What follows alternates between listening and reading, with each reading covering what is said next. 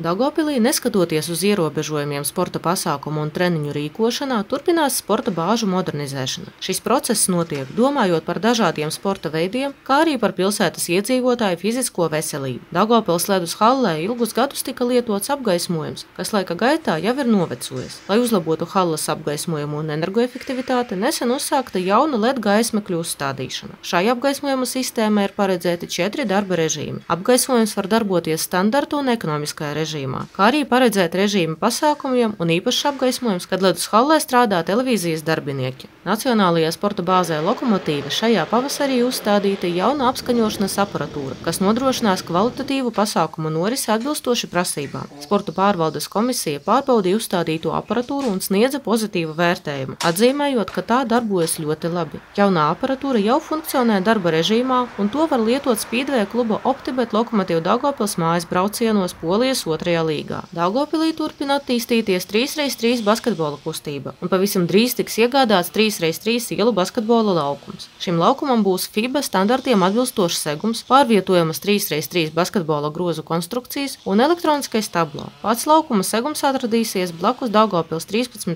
vidusskolai pie vieglatlētikas manēžas. Jāatzīmē, ka pārvietojamās grozu konstrukcijas varēs izmantot dažādu pasākumu laikā, piemēram, vienības laukumā. Tiek plānots, ka tuvākajā laikā sporta sporta pārvaldes bilancē nodos airēšanas sporta bāzi, kas atrodas Stropu ielā 40, kur šobrīd turpinās teritorijas labiekārtošana pie glābšanas stacijas. Šai sporta bāzei ir iegādāti jauni trenažieri, papildināts aprīkojums, kā arī veikti iekštelpu remondarbi. Atjaunotā sporta bāze varēs turpināt kalpot pilsētas sportistiem treniņu procesu veiksmīgai nodrošināšanai, kā arī to varēs lietot glābšanas stacijas glābēji pašvaldības policijas darbinieki. Lai gan šobrīd joprojām pastāv daudz ierobežojumu, kas attiecas uz sporta jomu, Daugopils sporta pārvalde cer, ka pavisam drīz ikvienam atkal būs iespēja brīvi izmantot pilsētas sporta bāzes treniņiem, pasākumu apmeklēšanai un aktīvai laika pavadīšanai. Sižetu sagatavoja Daugopils pilsētas domes sabiedrisko attiecību un mārketinga nodaļa.